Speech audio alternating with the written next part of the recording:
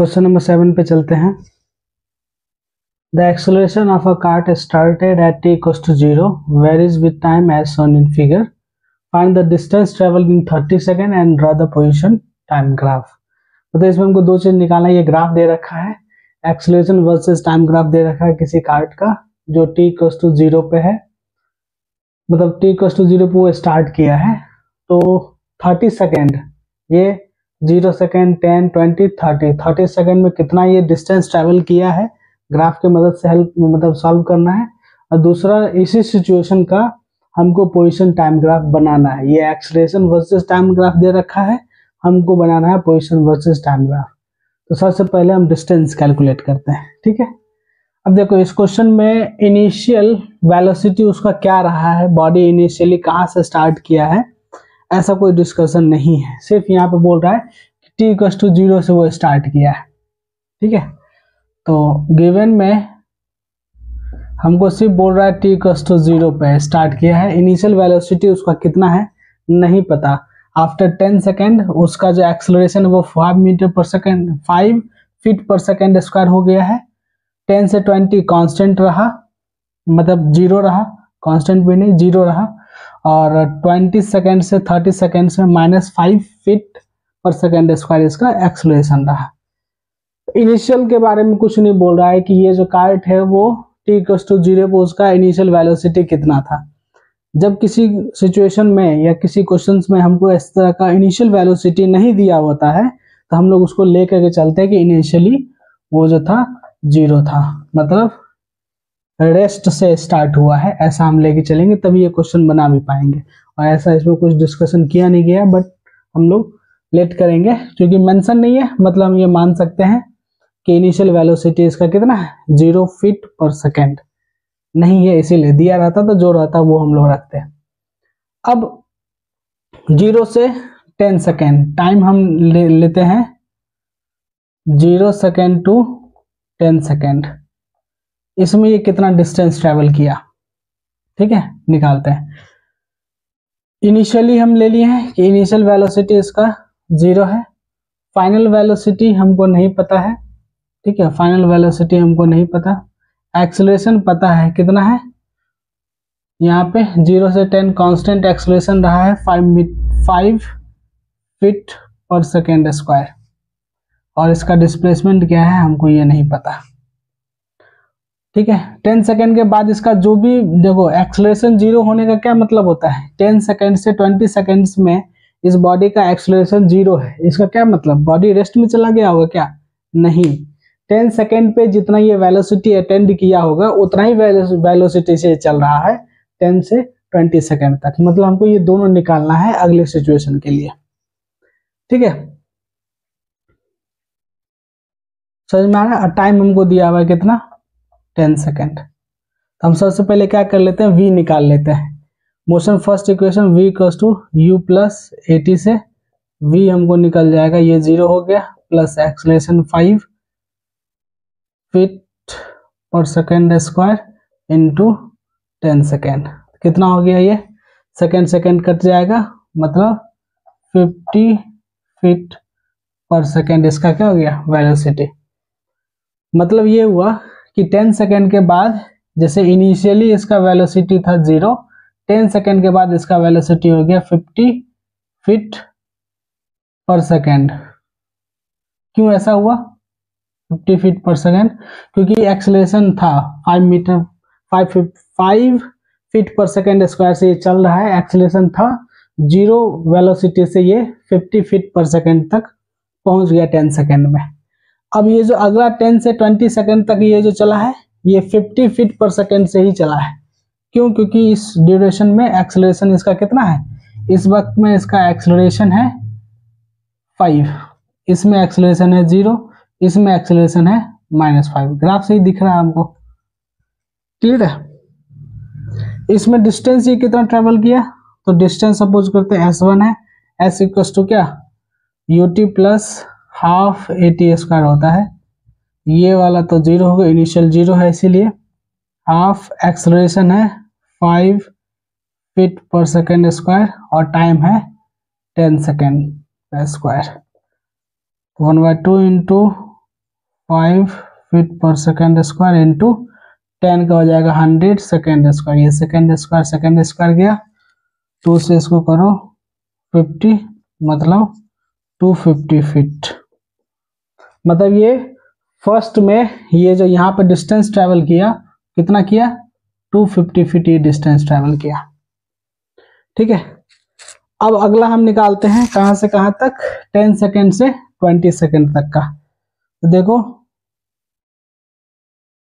Time ten second से twenty second में ये कितना डिस्टेंस ट्रेवल किया। तो टेन से ट्वेंटी के बीच में एक्सलेशन है ज़ीरो इसका मतलब सिंपल अगर हमको डिस्टेंस चाहिए तो इसका हो जाएगा स्पीड इंटू टाइम।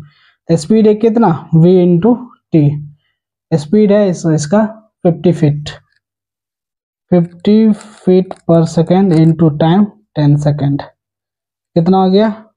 500 फीट मतलब यहाँ पे जो ये डिस्टेंस ट्रेवल किया ये हो गया S1 S2 कितना हुआ?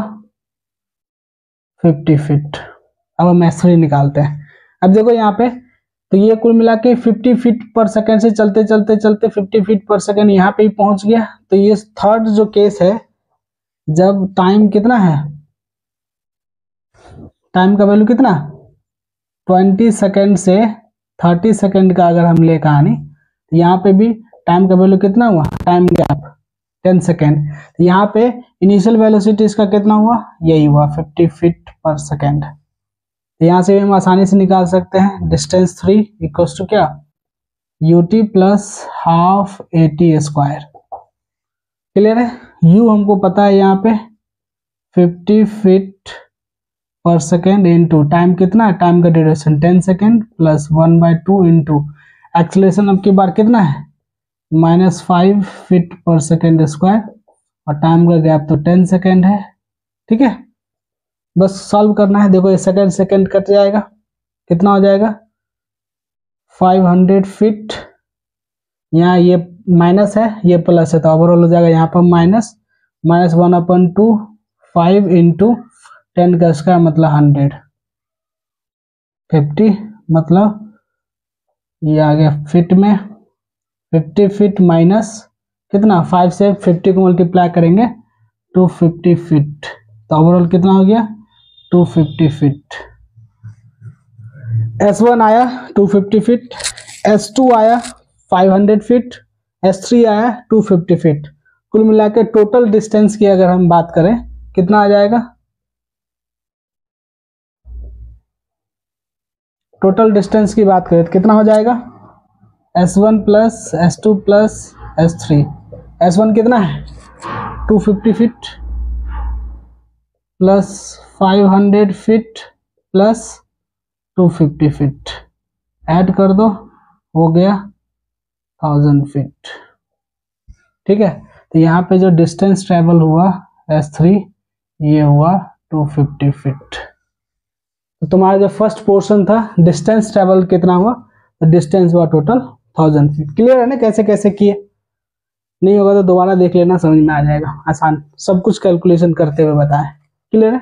अब जो सेकेंड पोर्शन है हमको, कि ड्रा करना है graph position versus time graph का, वो ग्राफ बनाने के लिए हमको क्या करना पड़ेगा? इस सबको रब करना पड़ेगा। ठीक है? अब जो सेकेंड पोर्शन है, जिसमें हमको पोजिशन वर्सेज टाइम ग्राफ बनाना है तो वो हम देख लेते हैं। अभी तक जो हम देखे, देखो पोजिशन वर्सेज टाइम ग्राफ बनाने के लिए क्या करना पड़ेगा? कि एक्स एक्सेस में ले लेंगे हम टाइम और इसमें ले लेंगे पोजीशन पोजीशन मतलब डिस्टेंस होता है डिस्प्लेसमेंट होता है, ठीक है? एक्सलेशन की बात कर रहा है मतलब डिस्प्लेसमेंट की बात कर रहा है।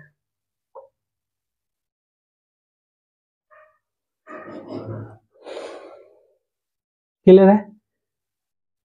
तो हम डिस्टेंस ले लेते हैं। डिस्प्लेसमेंट लेंगे तो नेगेटिव वाले में भी जाएगा डिस्टेंस बनाते हैं। ठीक है पोजिशन वर्सेज टाइम ग्राफ तो डिस्प्लेसमेंट कितना टाइम पे कितना डिस्टेंस हुआ उसका हमको ग्राफ बनाना है। अभी जो हम S1 निकाले हैं S1 कैसे आया है?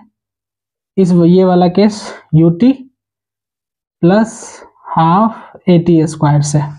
मतलब हम यहाँ निकालने जा रहे हैं कि पोजीशन जो इसका आया है पोजीशन और टाइम के बीच में क्या रिलेशन है ये तीन केस में।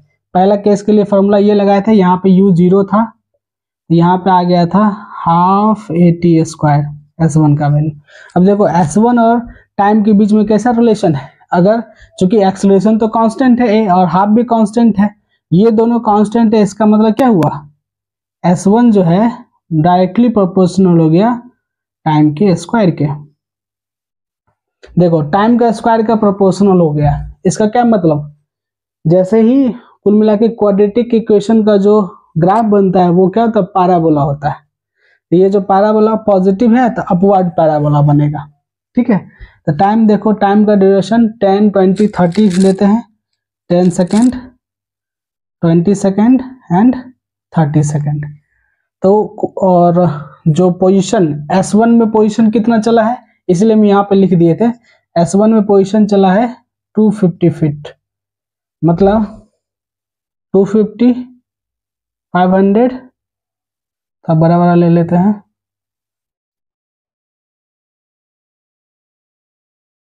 Two fifty, five hundred, seven fifty, one thousand. यही डिस्टेंस आया है। देखो, ज़ीरो से टेन सेकेंड के बीच में जो ये डिस्टेंस ट्रेवल किया है, कितना डिस्टेंस ट्रेवल किया है? टेन सेकेंड में ये डिस्टेंस ट्रेवल किया है टू फिफ्टी। इसके बीच का जो ग्राफ बनेगा, वो कैसा ग्राफ बनेगा? क्योंकि डिस्टेंस के प्रोपोर्शनल स्क्वायर के प्रोपोर्शनल हो गया टाइम मतलब ये क्या? क्वाड्रेटिक इक्वेशन मतलब पैराबोला बनेगा। पॉजिटिव है तो अपवर्ड पैराबोला होगा। ठीक है? अब S2 में आते हैं। S2 में यहाँ एक्सलेशन ज़ीरो था। S2 टू इक्व टू क्या आया था? सिंपल VT मतलब यहाँ पे जो S2 है, वो प्रोपोर्शनल है टाइम के। S2 प्रोपोर्शनल है टाइम का मतलब क्या? लीनियर इक्वेशन हुआ। ये क्वाड्रेटिक इक्वेशन था तो पैराबोला बना।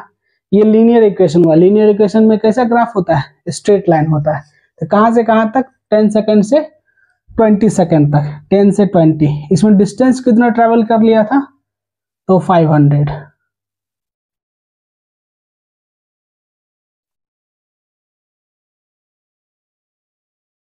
तो लीनियर इक्वेशन बन रहा है मतलब यहाँ पे जो ग्राफ बनेगा वो स्ट्रेट लाइन बनेगा।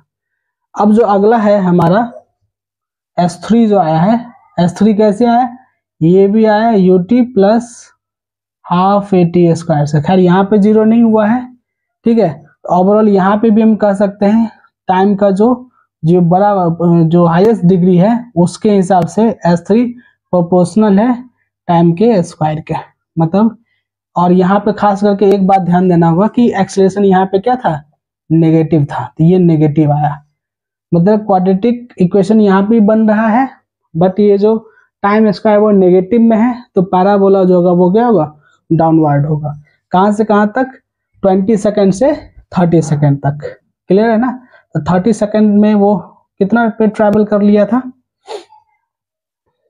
अच्छा एक चीज़ ध्यान देना। 10 से 20 के बीच में वो डिस्टेंस ट्रेवल किया था टोटल कितना? 500 ये तो 250 बना 500 में तो यहाँ तक आ गया वो।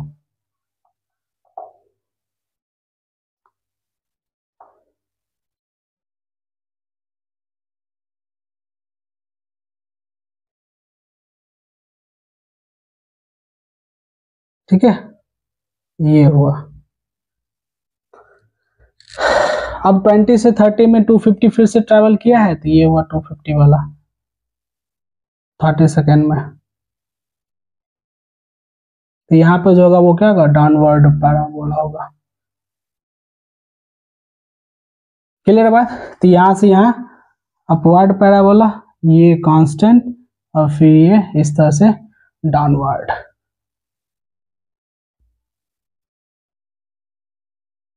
क्लियर है? तो ये हुआ तुम्हारा पोजिशन वर्सेस टाइम ग्राफ इसे में क्वेश्चन पूछ सकता था वेलोसिटी वर्सेस टाइम ग्राफ तो वेलोसिटी तुमको यहाँ पे देख लो, यहाँ पे ज़ीरो वेलोसिटी ज़ीरो पे ज़ीरो वेलोसिटी टेन सेकेंड पे वेलोसिटी फाइव ये फिफ्टी फीट ट्वेंटी पे भी फिफ्टी फीट और ये थर्टी पे निकालोगे तो ज़ीरो आएगा। तो यहाँ से तुम वेलोसिटी वर्सेस टाइम ग्राफ भी बना सकते हो। तो कुल मिला जो भी पूछा जा रहा है ना, उसको स्टेप बाय स्टेप करते चलो, तुम्हारा बनता जाएगा। क्योंकि यहाँ पे पोजीशन वर्सेस टाइम ग्राफ निकालना था तो पोजीशन और टाइम यहाँ पे क्या हुआ? स्क्वायर के प्रोपोर्शनल हुआ। इसलिए पैराबोला जो कि पॉजिटिव है, इसलिए अपवर्ड पैराबोला यहाँ टाइम के डायरेक्टली प्रोपोर्शनल लीनियर इक्वेशन बन रहा है मतलब स्ट्रेट लाइन यहाँ पे टाइम के स्क्वायर के प्रोपोर्शनल है बट नेगेटिव है, इसलिए डाउनवर्ड पैराबोला क्लियर है? Okay okay.